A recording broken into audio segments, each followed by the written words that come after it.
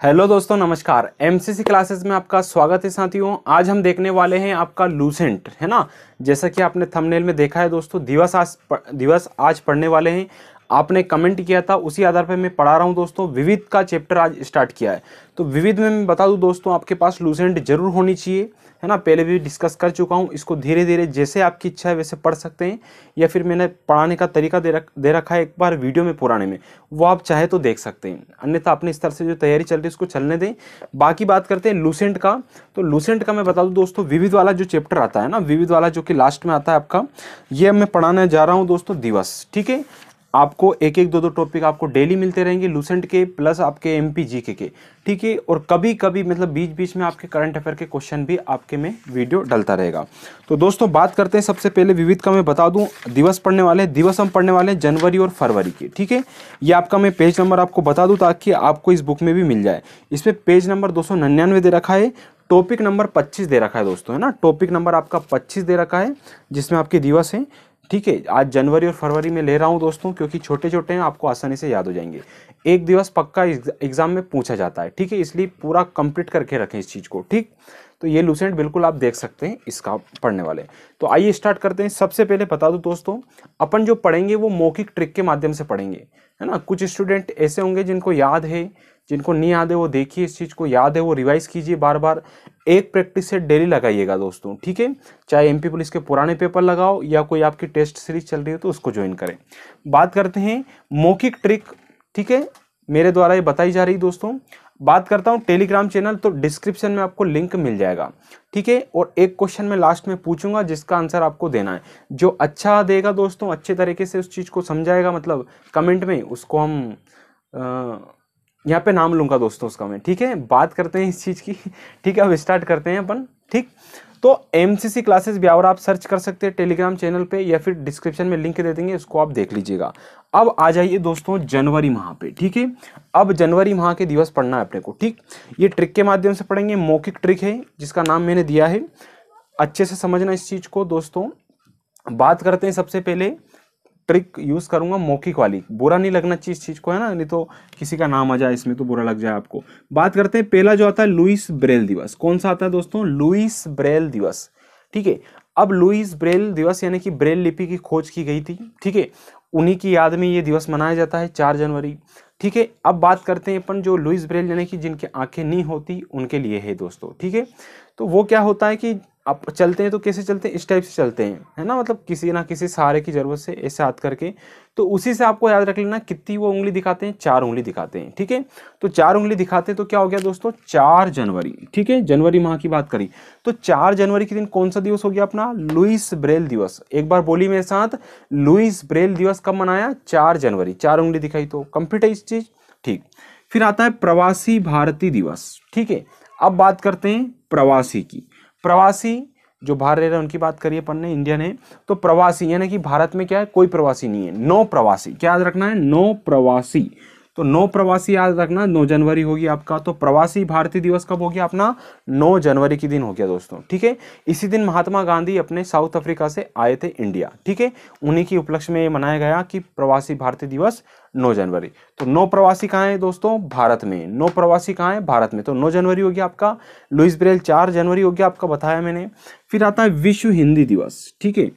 विश्व हिंदी। दोस्तों, क्या हुआ कि आजकल अब हिंदी थोड़ा एक बात बताएँ दोस्तों तो कम इंग्लिश मीडियम ज़्यादा स्कूल हो गए अपने इंग्लिश में बात करते तो उनको वीआईपी समझा जाता है मतलब अच्छा समझा जाता है, ऐसा होता है, ठीक है, अपने स्तर पे लेवल पे, छोटे लेवल पे।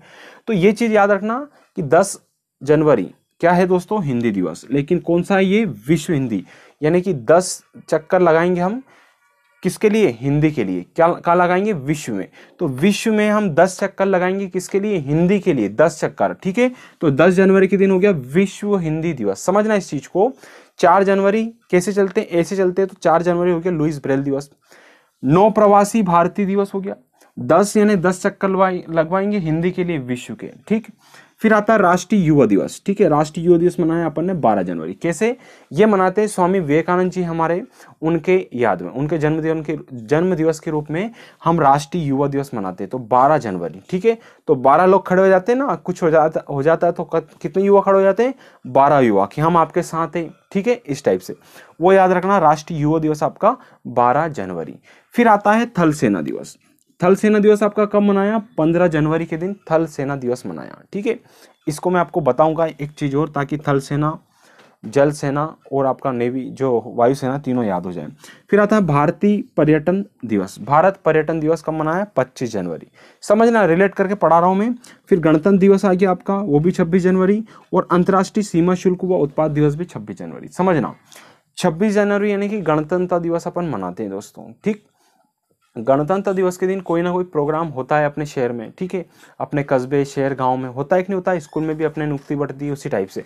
तो उसी से क्या याद रखना दोस्तों कि एक ग्राउंड होता है है ना? ये आपका ग्राउंड ले लेते हैं, ये ग्राउंड है, ठीक? इस ग्राउंड में कोई ना कोई प्रोग्राम होता है, ठीक है? कब होता है? छब्बीस जनवरी यानी कि गणतंत्र दिवस, आप जानते होंगे। तो उसके एक दिन पहले से ही वहाँ पे कुछ ना कुछ सफ़ाई अभियान या फिर कुछ ना कुछ चीज़ें उसमें वहाँ पे जो प्रोग्राम में उपस्थित होंगे, उनकी लिस्ट वगैरह मतलब एक दिन पहले से तैयारी चलती है उस चीज़ की, चलती है। तो तैयारी चलती है तो क्या हो गया दोस्तों, ये तैयारी, देखो छब्बीस जनवरी के दिन तो गणतंत्र दिवस है, लेकिन एक दिन पहले क्या है यहाँ पे पच्चीस जनवरी आ गया तो पच्चीस जनवरी के दिन क्या किया अपन ने, भारत पर्यटन दिवस। यानी कि ऐसा भी होता है कि जैसे एनसीसी की परेड होती है दोस्तों, ये आपने देखा होगा या आपके एनसीसी ले रखी हो तो उसमें भी वहाँ पे क्या होता है प्रोग्राम होता है। तो एनसीसी में क्या होता है कि जाते हैं दोस्तों यहाँ पे 26 जनवरी गणतंत्र दिवस के दिन। लेकिन उससे पहले ही वो परेड की वहाँ पे क्या करते हैं प्रैक्टिस करते हैं। तो जैसे प्रैक्टिस करते हैं तो एक दिन पहले प्रैक्टिस करेंगे यानी क्या हो गया पर्यटन घूमना हो गया। वहाँ पे जाते हैं घूमने फिरने लोग भी जाते हैं, आप भी जाते होंगे। ठीक है? तो घूमने जाते कब गए? 25 जनवरी, एक दिन पहले घूमे आए, उसके अगले दिन क्या हो गया? गणतंत्र दिवस मना दिया। अब गणतंत्र दिवस मनाते हैं तो दोस्तों क्या हो गया? इस बार ऐसा हुआ कि मैं बैठ गया वहाँ पे कुर्सी लगा के यहाँ पे। ये गेट था, यहाँ पे कुर्सी लगा के बैठ गया। अब कुर्सी लगा के क्यों बैठा? क्योंकि मेरी ड्यूटी लगाई गई कि भैया कोई भी अंदर आए तो उसका आपको नाम लिखना है। क्या लिखना है? नाम लिखना है और उससे दस रुपये एक व्यक्ति एंट्री आपकी फ़ीस लगेगी। अब एंट्री जो फ़ीस लग रही है दोस्तों, दस रुपये लग रही है, ठीक है? तो क्या हो रहा? सीमा शुल्क, यानी अंदर जाने का आपके लिए क्या लग रहा है? शुल्क लग रहा है। तो सीमा शुल्क व उत्पाद दिवस कब हो गया? छब्बीस जनवरी। सीमा शुल्क लगेगा, मेरे पास पैसे आएँगे, उत्पाद होगा कि नहीं होगा? छब्बीस जनवरी आ गया आपका। तो पच्चीस जनवरी के दिन तो घूमने गए और छब्बीस के दिन गणतंत्र दिवस मनाए। गणतंत्र दिवस दिवस मनाने के लिए हम क्या किया भैया? सीमा शुल्क दिया और उत्पाद हुआ। ये छब्बीस जनवरी दो दिवस हो गए। पच्चीस के दिन आपका पर्यटन। ठीक है, थल सेना पंद्रह जनवरी होता है, फिर आता है शहीद दिवस। शहीद दिवस दोस्तों तीस जनवरी के दिन मनाते हैं। क्या मनाते हैं? शहीद दिवस मनाते हैं। ठीक है, अब समझना दूसरा आता है कुष्ठ निवारण दिवस। यानी कि जब कुष्ठों का निवारण हो जाता है दोस्तों, कुष्ठों का निवारण होने के बाद क्या होता है दोस्तों? सर्वोदय होता है। क्या होता है? सर्वोदय। यानी सभी तरफ़ से अपना उदय होने लगता है। तो ये तीनों ही दिवस कब मनाए अपन ने तीस जनवरी के दिन। समझना इस चीज़ को है ना? एक बार नहीं, दो बार वीडियो को देखना, तब आपको ऑटोमेटिक समझ में आएगा। एक बार में समझ में नहीं आएगा, ध्यान रखना। समझ में आ जाए तो अच्छा है। समझिएगा इस चीज़ को। लुइस ब्रेल दिवस कैसे? ब्रेल लिपि की खोज करी। ऐसे चलते हैं, जिनकी आँखें नहीं होती तो चार जनवरी हो गया। फिर बात करी नौ जनवरी के दिन, भारती। नौ प्रवासी भारती। नौ प्रवासी भारती, ठीक? दस यानी कि हिंदी। दस बस याद रख लो, हिंदी। बारह के दिन स्वामी विवेकानंद जी का जन्म दिवस आता है, उन्हीं के उपलक्ष्य में राष्ट्रीय युवा दिवस मनाते हैं। थल सेना पंद्रह जनवरी हो गया आपका। भारत पर्यटन दिवस पच्चीस जनवरी, यानी घूमने जाते हैं एक दिन पहले छब्बीस जनवरी के। छब्बीस जनवरी के दिन गणतंत्र दिवस मनाते हैं और जहाँ एंटर करते हैं, वहाँ सीमा शुल्क लगता है अपना, ठीक है? फिर तीस जनवरी के दिन शहीद हो गए। शहीद होने के बाद क्या हो गया? कुष्ठों का निवारण हो गया। कुष्ठों का निवारण होने के बाद क्या हो गया? सूर्य सर्वोदय सर्वोदय दिवस हो गया आपका, ठीक? ये जनवरी माह कंप्लीट अब बात करता हूँ मैं फरवरी माह की। तो फरवरी माह में क्या हो गया दोस्तों, जब चार जनवरी को कोई ना कोई रोग है तो चार फरवरी को भी कोई ना कोई रोग है। कौन सा है वो? विश्व कैंसर दिवस। तो विश्व कैंसर क्या हो गया? चार फरवरी। चार जनवरी के दिन था लुइस ब्रेल दिवस और चार फरवरी के दिन हो गया आपका कैंसर दिवस, ठीक है? अब बात करते हैं दोस्तों वैलेंटाइन डे शायद आपको बीच में खुशी आ जाए, है ना? बाकी एमपी पुलिस को ध्यान रखना भैया। फिर, है ना, चौदह फरवरी की मैं बात कर रहा हूँ। चौदह फरवरी के दिन क्या मनाते हैं? वैलेंटाइन डे क्या मनाते हैं दोस्तों? वैलेंटाइन डे मनाते हैं। अब वैलेंटाइन डे आ गया तो उसकी तैयारी पहले से चलती है कि नहीं चलती है?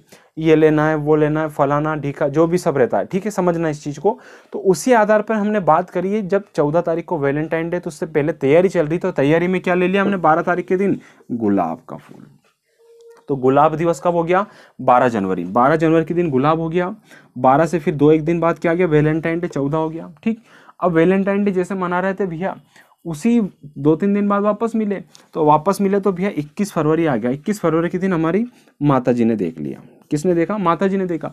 अब माता ने मम्मी ने देख लिया, भैया तो मम्मी ने देख लिया तो बोला, अपनी शुद्ध हिंदी भाषा में तेरे पापा से मैं बोलूँगा।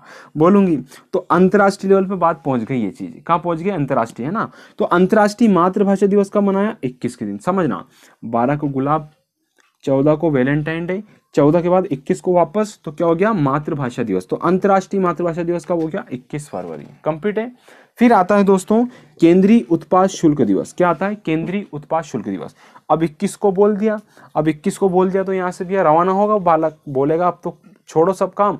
पढ़ाई पे ध्यान दो, चलो वापस जहाँ जाना है वहाँ पे। ठीक है, कोचिंग गया भैया तो कोचिंग गया भैया चौबीस तारीख के दिन बालक। अब चौबीस तारीख के दिन कोचिंग गया तो वहाँ पे क्या लग गया, उसका शुल्क लग गया।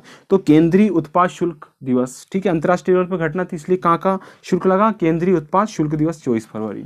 अब जैसे चौबीस तारीख को उसका शुल्क लगा, उसने सोचा कब तो साइंटिस्ट बनना ही बनना है मेरे को। क्या बनना है? या फिर विज्ञान अच्छा कंप्लीट करना है मेरे को? काय में विज्ञान? क्योंकि एमपी पुलिस में विज्ञान आता तो विज्ञान कंप्लीट करना है तो अट्ठाईस तारीख तक उसने विज्ञान पूरा कंप्लीट कर लिया। ठीक है? समझना। विश्व कैंसर चार फरवरी, गुलाब दिवस बारह, वैलेंटाइन डे चौदह। फिर मम्मी ने यानी मातृभाषा दिवस हो गया अंतर्राष्ट्रीय, फिर केंद्रीय उत्पाद शुल्क दिवस चौबीस के दिन और राष्ट्रीय विज्ञान दिवस आपका अट्ठाईस फरवरी। ये जनवरी, फरवरी माह के कंप्लीट हो गए दोस्तों दिवस। इसको एक से दो बार पढ़िएगा और इन दिवसों को आप क्या करना, बुक में भी आपके पास, नोट्स भी आपको दिख रहे हैं। इसको नोट करना और एक बार अच्छे से मन से याद करना इस चीज़ को, ठीक है? क्योंकि एक दिवस पक्का आता है। आपको दिवस में पूरे बारह मंथ के करवा दूँगा, साथ में जो स्टेटिक जीके है आपका, विविध वाला पोर्शन पूरा कंप्लीट करवाएँगे साथ साथ एम पी जीके के। फिर बाकी जो भी आपका बचेगा, खेलकूद वाला और देखेंगे उस चीज़ को। तो प्लीज़ दोस्तों शेयर ज़रूर कीजिएगा लाइक कीजिएगा और टेलीग्राम चैनल से बिल्कुल जुड़िए और धन्यवाद साथियों, अच्छे से मेहनत कीजिए। अब आप इसका स्क्रीनशॉट ले सकते हैं दोस्तों। धन्यवाद साथियों